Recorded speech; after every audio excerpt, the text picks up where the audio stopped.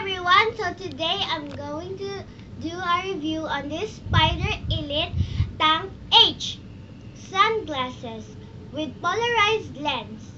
So this pair of sunglasses are made for sports.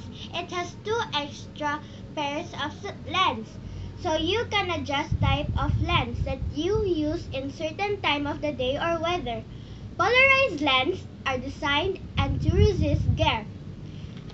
It comes also with a pouch, a container, lens, a rubber for the nose bridge.